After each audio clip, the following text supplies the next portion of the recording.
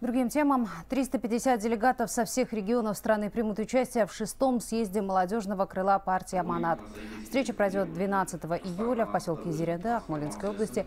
Активисты представят свои идеи всестороннего развития государства. Участники также подведут итоги проделанной работы. Напомню, молодежное крыло партии «Аманат» насчитывает более 100 тысяч человек. На заседании Центрального совета а, молодежного крыла партии МНАТ членами принято решение созвать внеочередной съезд а, нашей организации. И главная повестка нашего съезда – это полная трансформация молодежного крыла, а, модернизация деятельности